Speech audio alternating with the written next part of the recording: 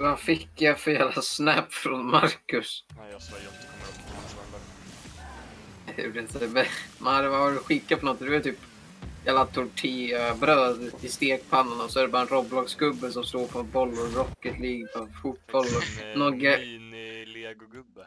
någon grabb som dabbar nere i höger liksom. Det gäller ditt, mitt bildprojekt Jag läste med- vad det stod. i nian.